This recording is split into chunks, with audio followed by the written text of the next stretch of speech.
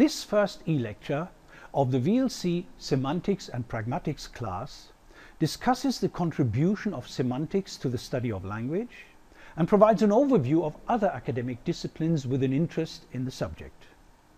Furthermore, it outlines several issues related to the description of meaning. In particular, we will look at the role of semantics within linguistics, as well as the role of semantics in other disciplines. And we will discuss the central goals and objectives of semantics. Now the term semantics, originally a Greek term, is a recent addition to the English language. However, in its early use in the 19th century, the term was not used simply to refer to meaning, but to its development, what we today call historical semantics. Despite additional attempts around 1900, the term did not catch on until Ogden and Richards published their now famous book, The Meaning of Meaning, in 1923. Today, semantics is one of the central areas within linguistics with ambitious goals and numerous applications and influences, but also one of the most problematic ones. Linguists working within semantics study the ways in which words or sentences acquire meaning and the processes by which native speakers of a language can assign stable interpretations to word strings. Since meaning can be influenced by various linguistic factors, semantics plays an important role in most branches of linguistics, with the exception of phonetics and of course semantics itself. This is why we erased it over here. Let us look at some examples. Let's start with phonology. In phonology, the study of the sound systems of particular languages, semantics is related to meaning studies in several ways. Phonemes can distinguish meanings by means of establishing so-called minimal pairs such as ben and pen, we can show that the exchange of one phone by another one, so b and p over here, that the exchange of one phone by another one leads to a difference in meaning. Thus the two items must be two different phonemes. The sound system also carries meaning through the patterns of stress that we adopt in speaking.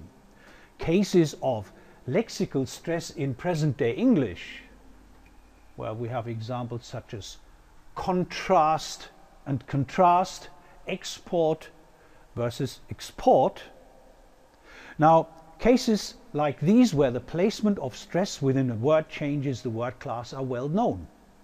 Or take a simple sentence such as Jim enjoys playing country songs in bars. Now here the choice of the nucleus influences the meaning of the sentence. Jim enjoys playing country songs versus hip hop songs in bars or Jim enjoys playing country song in bars versus in concert halls. Well and finally variations of pitch may lead to different tonal effects and by means of tonal effects we can influence the meaning of several chunks of speech. We can create different sentence types such as Mary passed her exams yesterday which is a declarative sentence but with a rising tone on yesterday Mary passed her exams yesterday we can easily create an intonation question or we can indicate the end of a list by means of a falling intonation milk, water, juice and wine. Sorry, by means of a falling tone. So tonal differences may lead to the change of the meaning of words and sentences. Let's look at morphology next. Now morphology studies the internal structure of words and how words are built out of smaller components. There are three central processes but they differ with respect to the degree of semantic transparency of the word forms they produce. Inflection is semantically fully transparent. So let's mark this with a plus symbol. Inflection doesn't involve a change of the basic form's meaning, and the affix, if there is one, can clearly be associated with a fixed meaning.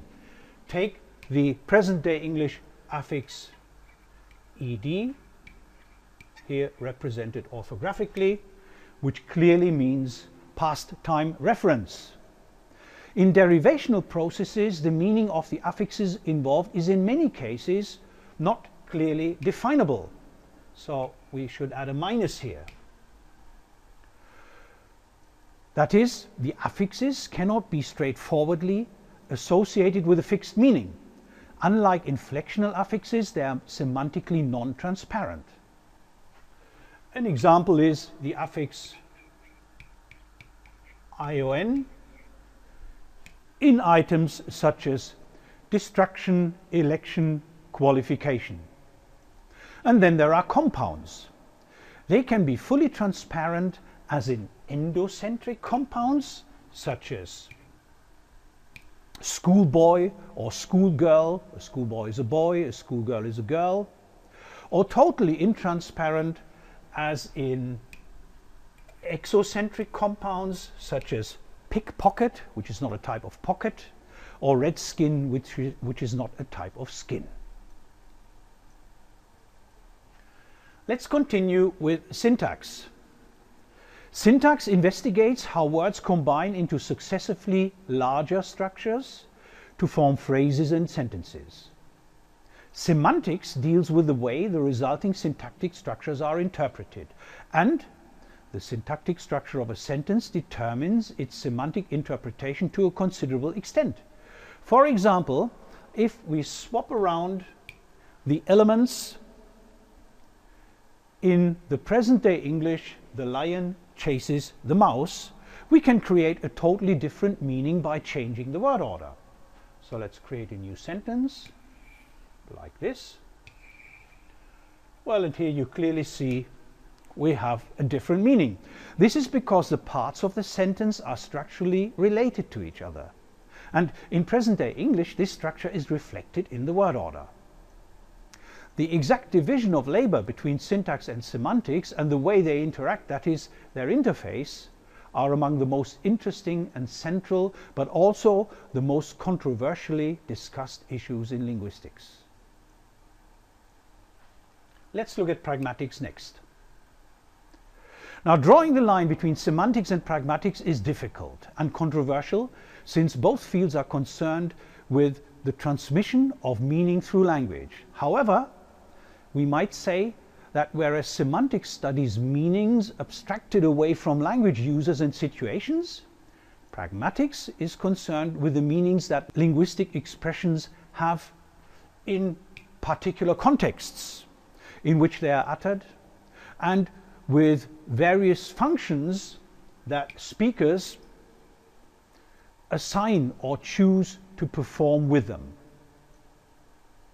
In trying to determine what someone actually wants to say, people regularly go beyond the conventional meanings of the words spoken by taking into account contextual aspects. Now, to understand the girl's answer in this dialogue, what time is it? The milkman has just arrived. You have to interpret the situation, the participants, the history of the interaction, and so on. And beyond your world knowledge, you have to have the ability to draw inferences, conclusions. For example, that it is 8 o'clock because the milkman generally arrives at around 8. Let's now look at the contribution of semantics in other disciplines. Linguists are not the only scholars with an interest in semantics. In fact, Meaning is studied in various other academic disciplines, some of which are represented on this flip chart behind me. While there's a significant degree of overlap among these disciplines, as well as with linguistic semantics, they all have something idiosyncratic and unique in their approach.